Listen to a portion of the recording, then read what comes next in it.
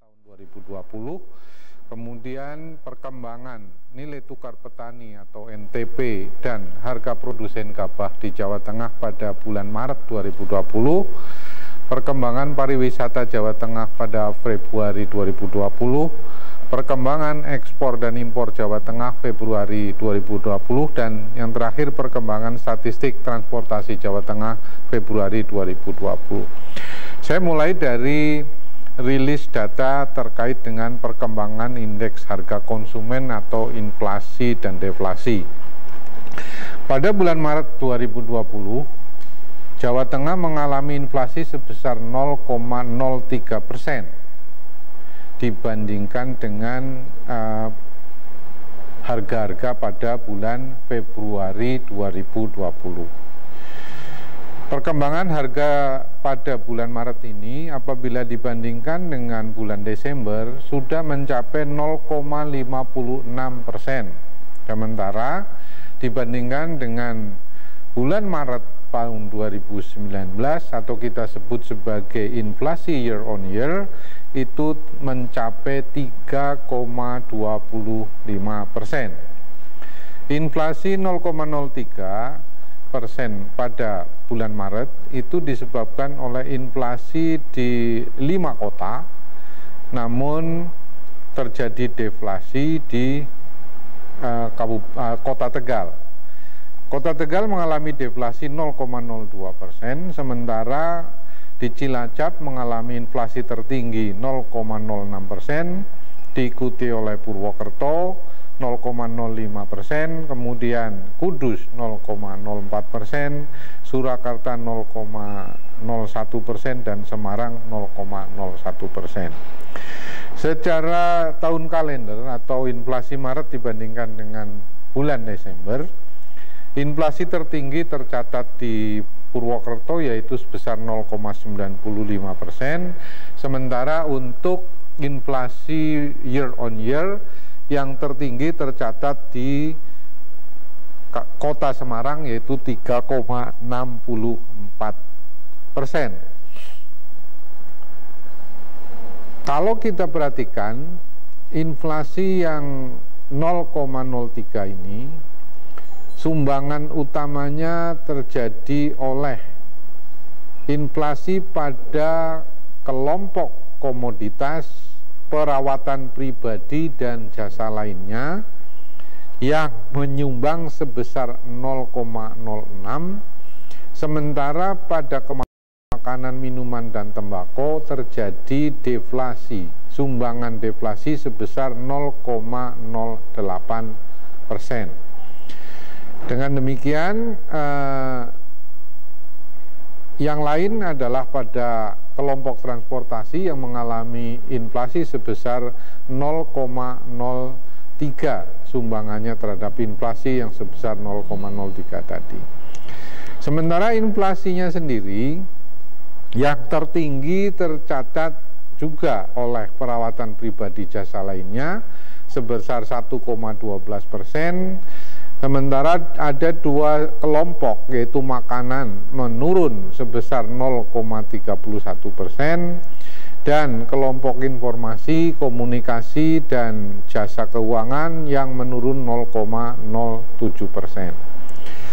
Jadi secara kumulatif eh, inflasi tahun kalender tertingginya disebabkan oleh kelompok makanan minuman tembakau yaitu sebesar 2,88 persen, sementara inflasi di tahun uh, year on year itu di makanan masih sangat tinggi 6,82 persen.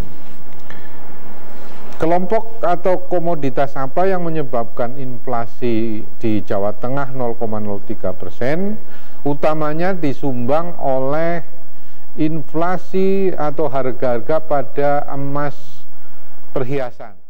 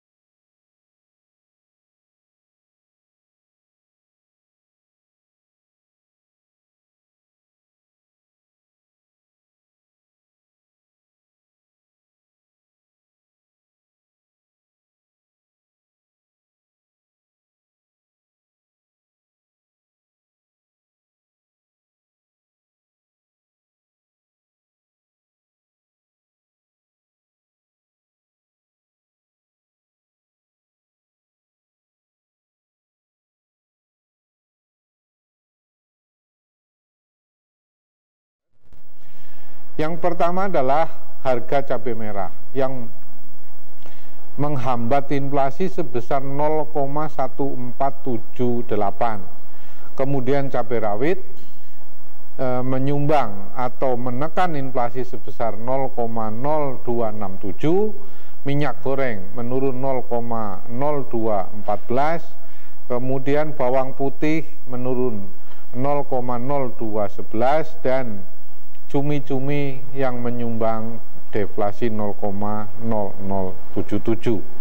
Komoditas lainnya yang juga menekan inflasi antara lain adalah eh, komoditas eh, semangka, kentang, dan tarif kendaraan roda 2 online. Kalau kita memperhatikan di antara ibu kota provinsi di Pulau Jawa, maka posisi inflasi kota Semarang itu berada pada urutan terkecil kedua setelah inflasi pada kota Surabaya yang hanya 0,01 persen, sementara di kota Semarang tercatat 0,02 persen. Inflasi di Jawa yang tertinggi dicatat oleh DKI Jakarta dengan inflasi sebesar 0,33 persen. Namun demikian kalau kita membandingkan untuk year on year, inflasi kota Semarang masih mencatat atau tercatat yang tertinggi di antara ibu kota di Pulau Jawa, yaitu sebesar 3,64 persen. Untuk selanjutnya kita lihat bagaimana perkembangan nilai tukar petani di Jawa Tengah. Pada bulan Maret tahun 2020, nilai tukar petani Jawa Tengah menurun sebesar 1,14 persen, yaitu dari 103,29 pada bulan Februari 2020 menjadi 102,12 pada bulan Maret 2020. Jadi penurunan NTP ini apabila dibandingkan dengan penurunan NTP di nasional relatif masih lebih lambat di Jawa Tengah dibandingkan nasional. Penurunan utamanya disebabkan oleh kenaikan indeks yang dibayar petani yaitu dari 105,98 menjadi 106,28. Juga di eh, tekan juga oleh menurunnya indeks harga yang diterima petani yang menurun dari 109,47 menjadi 108,53. Menurut uh, subsektor, maka penurunan utamanya yang terbesar terjadi pada kelompok pertanian tanaman pangan yang menurun NTP-nya sebesar 2,29 persen. Demikian juga untuk peternakan menurun 0,94 persen dan juga di perikanan menurun 0,77 persen. Sementara untuk komoditas hortikultura maupun komoditas tanaman perkebunan rakyat mengalami kenaikan masing-masing sebesar 1,78 dan 1,04 persen. Selanjutnya adalah nilai tukar usaha pertanian, yaitu perbandingan antara indeks harga yang diterima oleh petani dan indeks harga yang dibayar petani untuk kelompok biaya produksi dan pembelian barang modal. Ya. Nah, di sini tercatat bahwa kalau di tingkat nasional terjadi penurunan 1,18 NTUP, maka di Jawa Tengah pada bulan Maret 2020 mengalami penurunan sebesar 0,94. Jadi penurunannya masih lebih lambat dibandingkan dengan di tingkat nasional. Untuk uh, subsektornya polanya masih sama dengan NTP yaitu bahwa Hortikultura dan tanaman perkebunan rakyat mengalami kenaikan nilai tukar petani atau nilai, nilai tukar usaha pertanian, sementara untuk tanaman pangan, peternakan, dan perikanan mengalami penurunan nilai tukar usaha pertanian. Selanjutnya adalah informasi tentang harga gabah. Jadi tadi kalau di NTP dan NTUP menurun di tanaman pangan, penyebab utamanya adalah penurunan dari harga gabah yang pada bulan Februari 2020 di tingkat petani tercatat gabah kering hiling seharga 5.668,85 pada bulan Maret menurun menjadi 5.487,37 sedangkan untuk gabah kering panen pada Februari tercatat sebesar 5.286,04 dan pada bulan Maret tercatat sebesar 4.822. Fenomena penurunan mansuman ini disebabkan oleh membanjirnya atau banyaknya produksi padi di beberapa wilayah sentra produksi seperti di Sragen, di Cilacap, dan di beberapa tempat lain. Nah, dengan demikian maka kita bisa perhatikan bahwa gabah kering giling pada bulan Maret dibanding dengan bulan Februari menurun 3,20 persen, sementara dibandingkan dengan gabah kering giling pada bulan Maret tahun 2019 menurun sebesar apa mengalami kenaikan sebesar 2,62 persen. Di tingkat penggilingan, harga gabah juga mengalami penurunan. Yang pertama untuk gabah kering giling. Di penggilingan menurun dari Februari 5.739,46 rupiah menjadi 5.550,79 rupiah.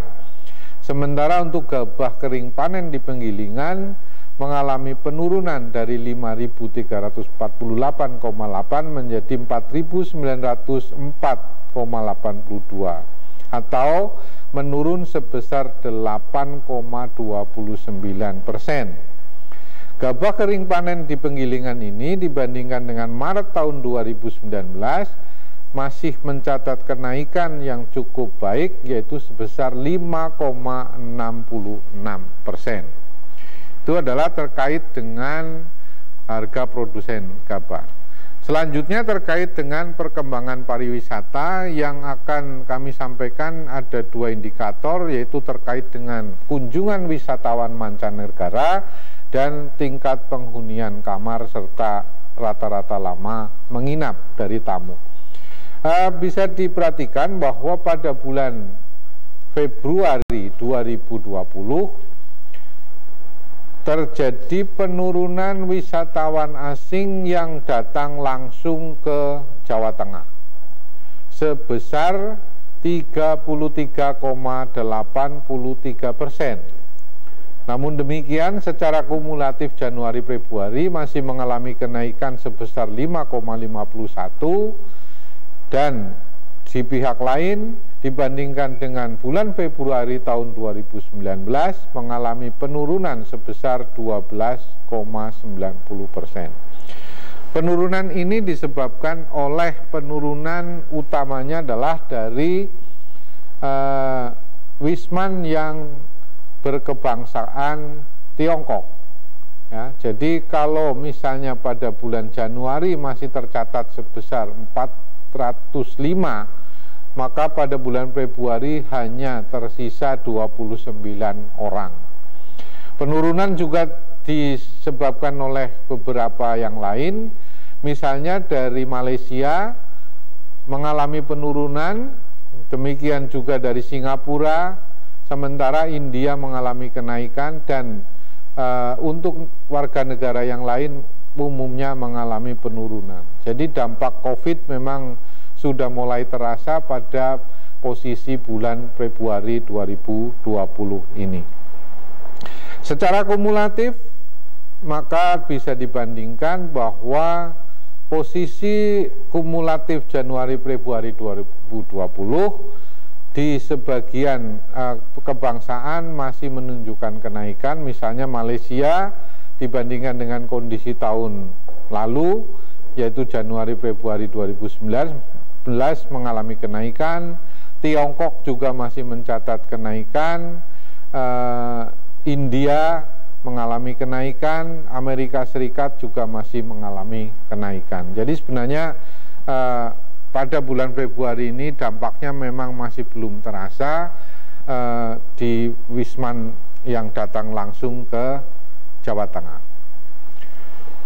Demikian juga untuk indikator tingkat hunian kamar. Jadi tingkat penghunian kamar hotel berbintang pada Februari 2020 di Jawa Tengah masih mengalami kenaikan 4,85 poin dibandingkan dengan TPK atau tingkat penghunian kamar pada Januari 2020. TPK tertinggi dicatat oleh hotel berbintang 4 yang nilainya mencapai 52,02 persen, sementara untuk TPK terendah dicatat oleh bintang 1 yang hanya mencatat 31,35 persen. Kenaikan juga masih dicatat untuk rata-rata lama menginap. Rata-rata lama menginap mengalami kenaikan sebesar 0,03 poin dibandingkan dengan Januari tahun 2020. Rata-rata lama menginap tertinggi untuk bulan Februari dicatat oleh Hotel Bintang 5 dengan rata-rata lama menginap sebesar 1,46 malam. Sementara yang ter terendah dicatat oleh Hotel Bintang 1 hanya 1,18 malam. Selanjutnya adalah rilis data harga ekspor apa data ekspor dan impor yang merupakan angka tetap pada bulan Februari 2020. Perlu disampaikan bahwa pada bulan Februari 2020 ekspor kita dibandingkan dengan Februari 2019 masih mencatat kenaikan sebesar 11,76 persen, yaitu dari nilai eh, pada Februari 19 sebesar 647,05 juta US dollar menjadi 723,15 juta US dollar pada Februari tahun 2020. Namun dibandingkan dengan ekspor bulan Januari, pada bulan Februari ini mengalami penurunan baik untuk komoditas migas yang menurun 40,45 persen maupun komoditas non migas yang menurun 2,75 persen. Akibatnya, ekspor bulan Februari 2020 menurun 4,80 persen dibandingkan dengan ekspor pada Januari 2020. Secara tren bisa kita bandingkan bahwa ekspor kita, baik ekspor total maupun ekspor non migas, pada bulan Februari masih mencatat angka yang lebih tinggi dibandingkan dengan pada Februari 2018 maupun Februari 2019. Adapun komoditas yang mengalami kenaikan utamanya adalah barang-barang dari kulit yang meningkat sebesar 5,94 juta US dollar apabila dibandingkan dengan Januari 2020.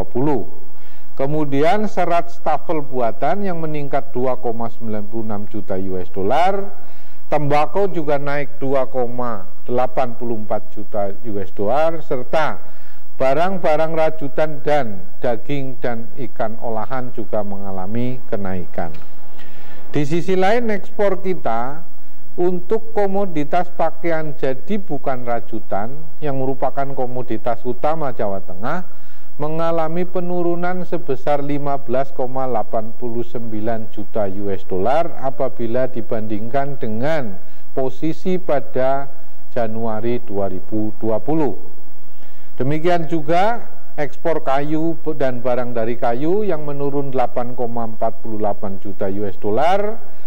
Kapas juga menurun 4,84, mesin-mesin atau pesawat mekanik menurun 3,96 juta US dollar. Dan alas kaki yang menurun 3,94 juta US dollar. Adapun kelompok daripada ekspor utamanya masih didominasi oleh kelompok industri pengolahan yaitu dengan porsi sebesar 94,88 persen dengan nilai ekspor industri sebesar 686,16 juta US dollar pada Februari 2020. Sementara ekspor migas mengalami penurunan dari Januari 41,15 juta US dollar menurun menjadi 24,50 juta US dollar. Selanjutnya adalah perkembangan ekspor untuk 10 komoditas utama. Kalau kita bicara komoditas paling tinggi adalah pakaian jadi bukan rajutan, yang peranannya 27,44 persen, mengalami kenaikan 3,79 persen dibandingkan dengan periode Januari-Februari tahun 2019. Sementara untuk beberapa komoditas seperti kayu, barang dari kayu, kemudian barang-barang rajutan dan perabot penerangan rumah, serta serat stafel buatan, mesin-mesin dan peralatan listrik mengalami penurunan dibandingkan dengan periode Januari-Februari tahun 2019. Secara total, 10 komoditas yang kita lihat uh, kode HS-nya itu meliputi 81,51 persen dari seluruh total ekspor kita. Secara total 10 komoditas itu masih mencatat kenaikan dibandingkan dengan tahun 2019 yaitu sebesar 1,49 persen. Adapun negara tujuan utama ekspor kita masih didominasi oleh e, negara Amerika Serikat dengan porsi 36,15 persen atau nilainya sebesar 512,24 juta US dollar selama Januari sampai dengan Februari 2020.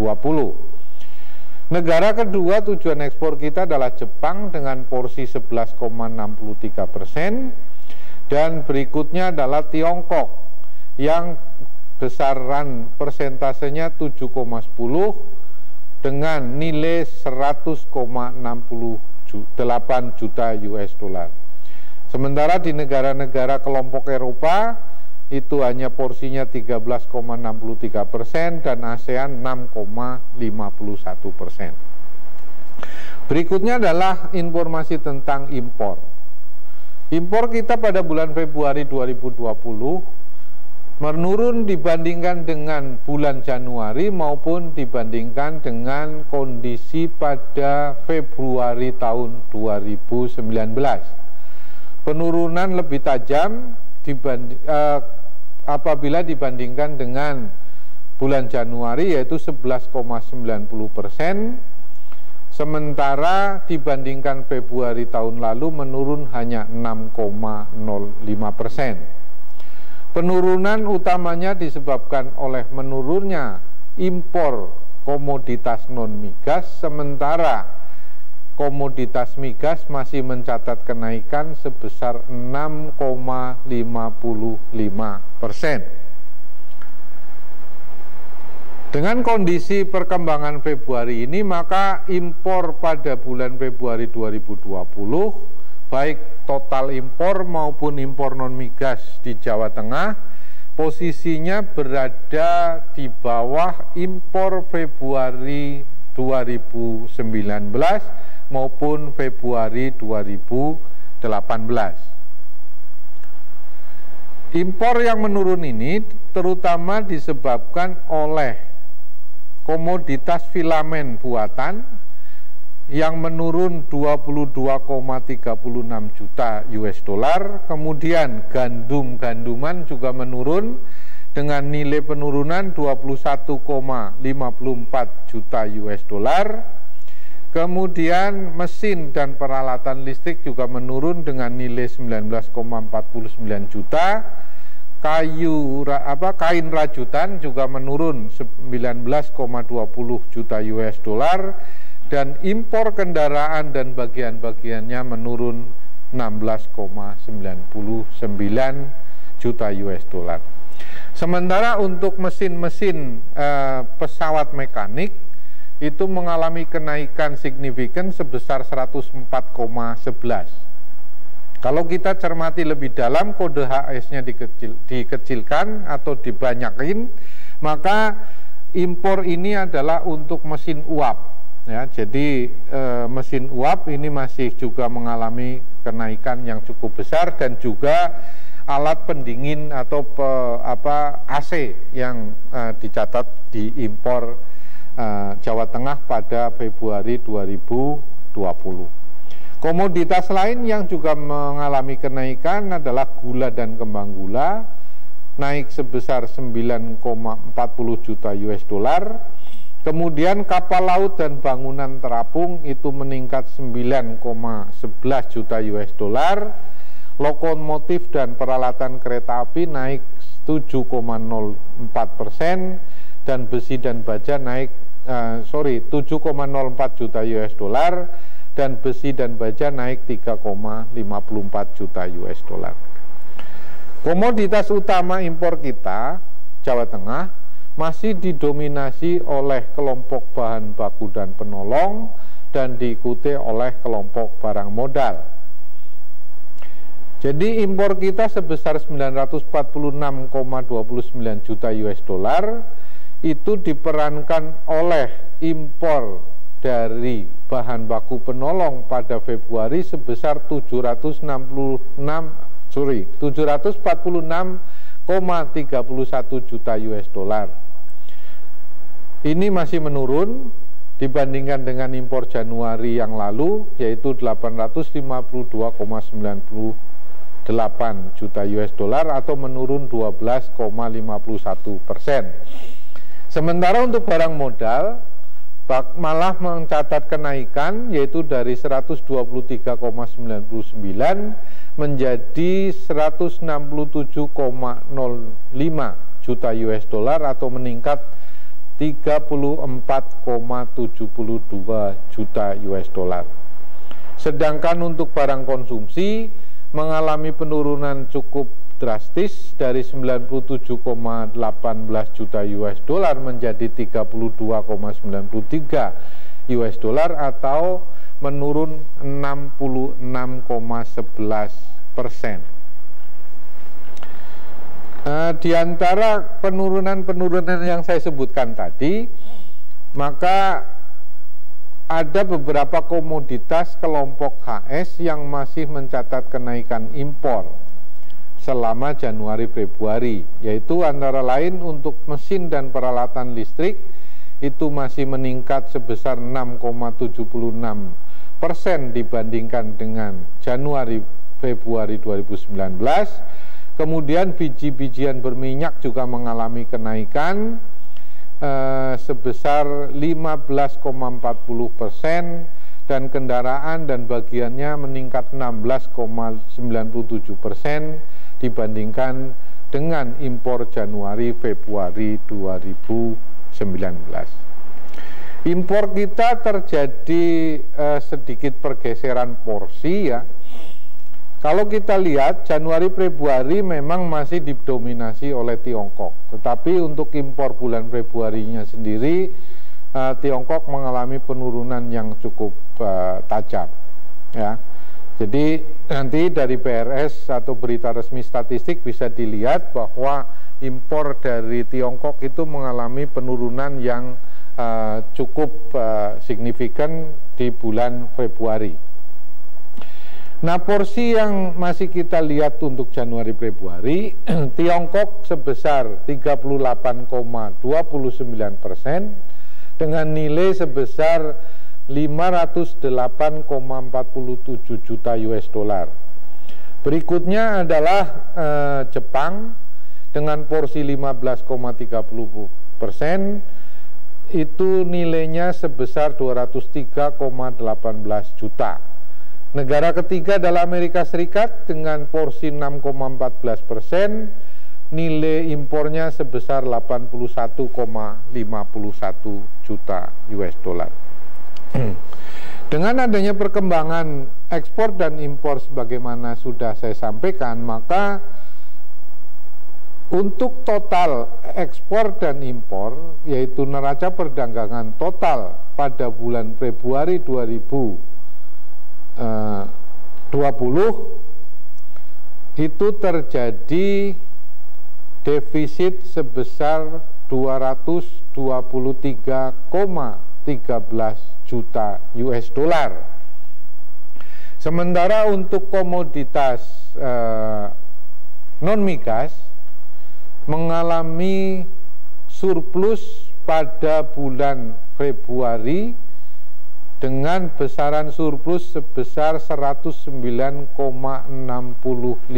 juta US dollar.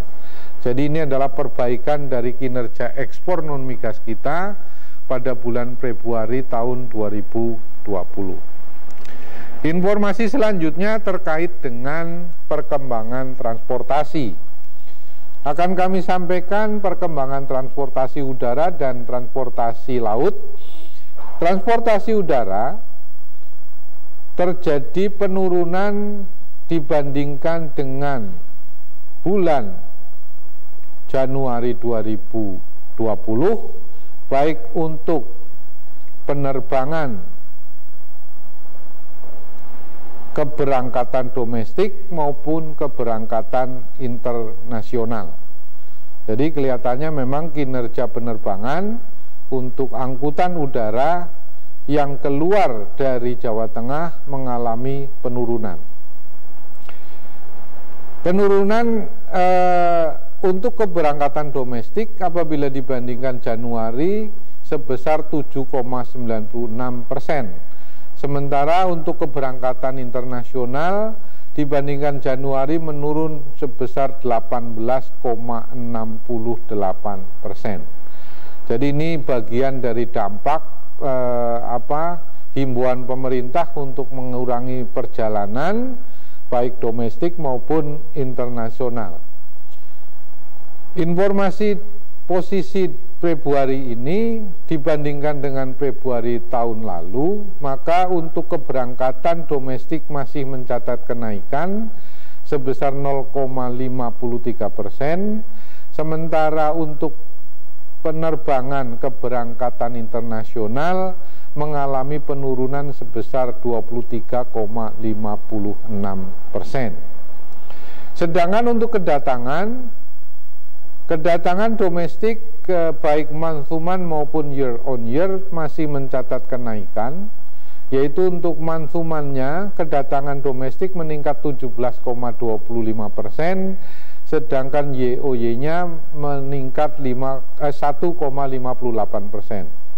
Sedangkan kedatangan internasional dibandingkan Januari menurun 26,80 ini termasuk karena pelarangan kedatangan dari China yang tadi dicerminkan oleh wisatawan yang datang langsung, juga karena pengurangan atau pembatasan penerbangan dari luar negeri. Secara YOY juga eh, terjadi penurunan bahwa kedatangan internasional menurun 17,91 persen. Berikutnya adalah angkutan penumpang untuk uh, angkutan laut. angkutan laut di Jawa Tengah, keberangkatan penumpang masih uh, menurun sebesar 28,15 persen dibandingkan dengan bulan Januari. Namun dibandingkan Februari tahun 2019 keberangkatan penumpang laut meningkat 0,33 persen. Sedangkan untuk kedatangan mengalami penurunan baik mansuman maupun YOY yaitu sebesar 21,08 persen dibandingkan dengan bulan Januari dan menurun 10,94 persen dibandingkan dengan kondisi Februari pada tahun 2019. Informasi terakhir yang bisa kami sampaikan adalah terkait dengan bongkar muat barang di pelabuhan laut.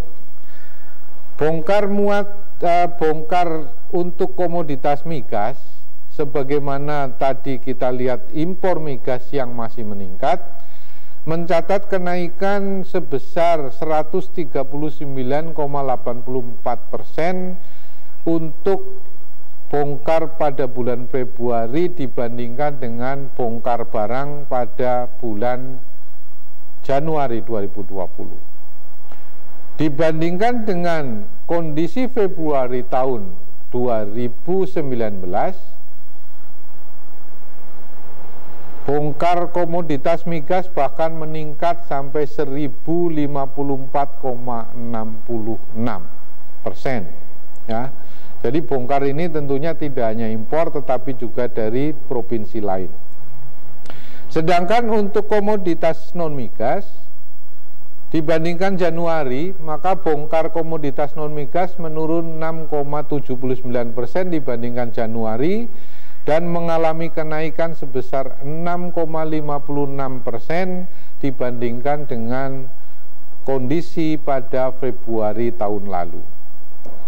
Untuk muat atau indikasi ekspor baik itu ke luar negeri maupun ke provinsi lain, terjadi penurunan untuk migas sebesar 51,21 namun untuk perbandingan dengan Februari tahun 2019 mengalami kenaikan sampai 24.000 persen. Kenaikan yang sangat signifikan. Sedangkan untuk uh, muat non migas sejalan dengan ekspor impor tadi terjadi penurunan mantuman sebesar 73,80 persen. Sedangkan dibandingkan Februari 2019 masih mencatat kenaikan sebesar 6,61 persen.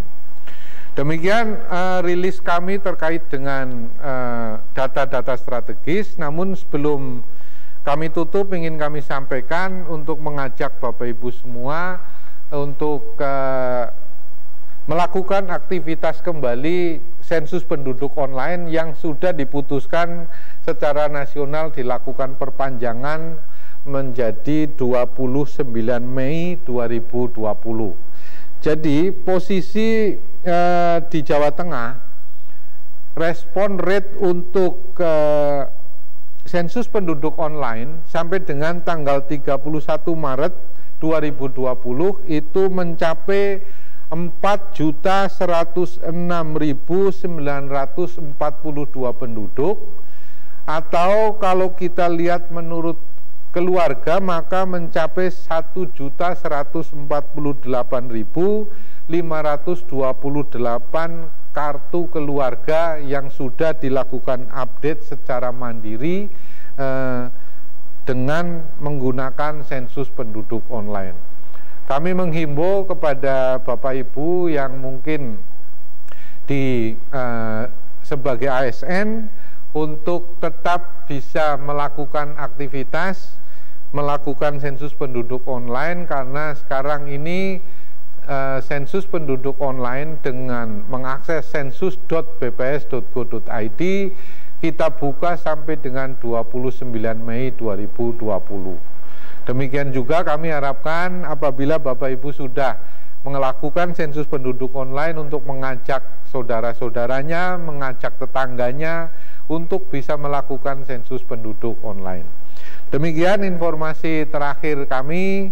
Semoga bermanfaat untuk perencanaan pembangunan di Provinsi Jawa Tengah terutama dalam rangka menghadapi uh, penyebaran virus corona uh, yang semakin menyebar di beberapa wilayah. Terima kasih saya akhiri dengan Assalamualaikum warahmatullahi wabarakatuh.